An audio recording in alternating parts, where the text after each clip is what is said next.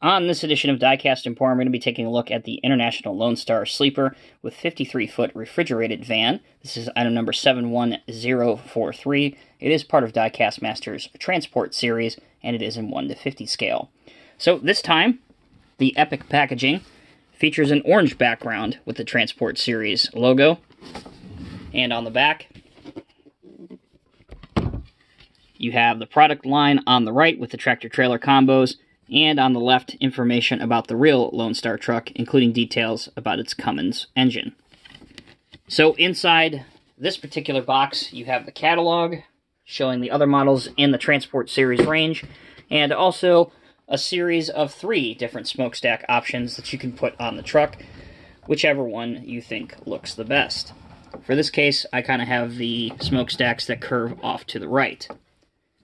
Alright, so taking a look at this model, both of these castings, the truck and the trailer, are brand new molds for Diecast Masters for this year.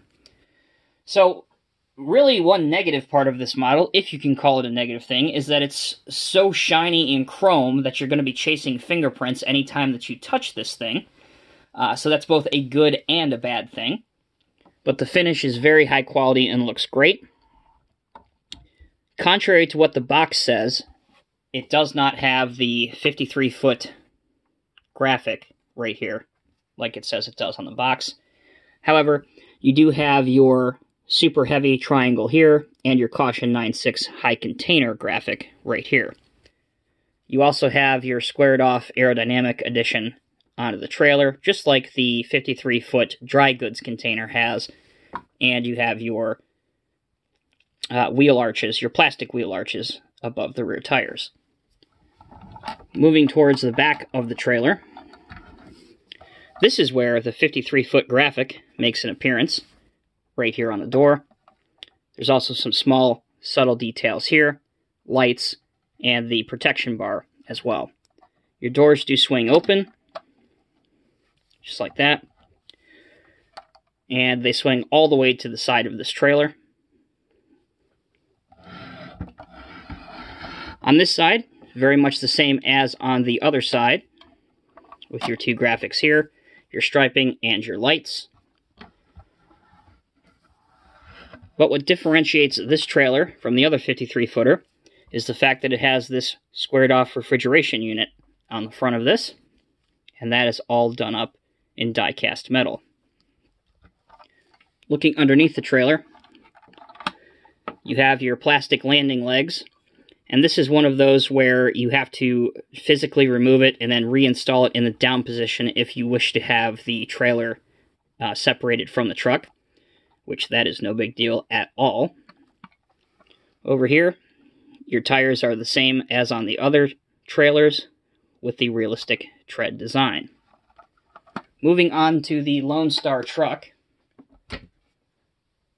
I mentioned that you can install one of three different smokestacks.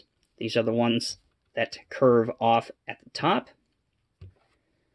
This gray paint scheme or silver paint scheme is exclusive as of now to the refrigeration trailer set, so you can't buy this color truck just by itself.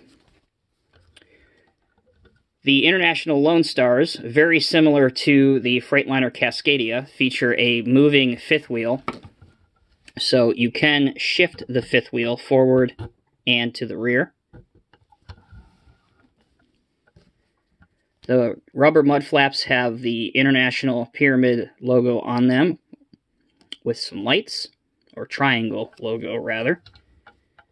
And International is also embossed on the die-cast cab. You have some nice running lights throughout the bottom, all the way here. And the iconic Lone Star front grille. You also have lights right here and right here. Finally, the driver's and the passenger's doors do open, and you can get a good look at the purple or magenta colored interior of these trucks. The hoods do open on these. You can see a red engine and some other crucial imponent, components. Lastly, underneath the trucks, there is some detail, such as tread patterns, the engine, the transmission, drive shaft.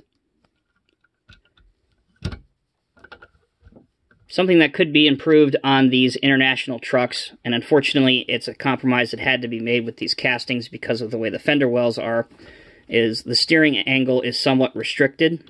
So you can pose the truck turning, but at the most extreme angles it does fall foul of the top of the wheel arches, so only a little bit of an angle can be achieved. But as I always like to say, something is better than nothing. So there you go, guys. That is a review of the Diecast Masters 53 foot refrigerated trailer with the International Lone Star cab in 1 to 50 scale. If you guys have any questions, please feel free to leave them in the comment section below. Until next time, take care, be safe, and we will see you soon.